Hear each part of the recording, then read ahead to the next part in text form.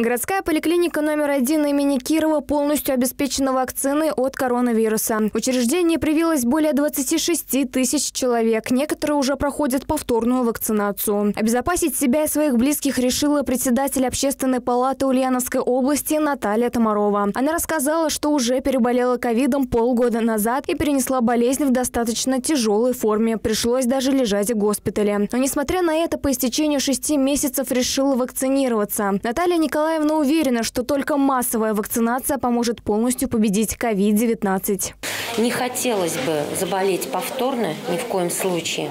Также за время периода COVID-19 очень много потеряла близких, друзей, знакомых, коллег. И помочь своему организму справиться, если вдруг будет э, каким-то образом повторное заражение и э, э, повторное заболевание. По рекомендации врачей привиться Наталья Тамарова решила спутником Light. Light, что значит облегченный, подходит для вакцинации переболевших спустя полгода после болезни, но может применяться и для первичной вакцинации. Также э, эта вакцина предназначена для пациентов, которые вакцинировались ранее, и от э, предыдущей вакцинации прошло 6 месяцев. Конечно же, спутник Лайт э, необходимо вакцинироваться в основном для пациентов, которые имеют хронические заболевания, это и сердечно-сосудистые заболевания, и бронхолегочной системы.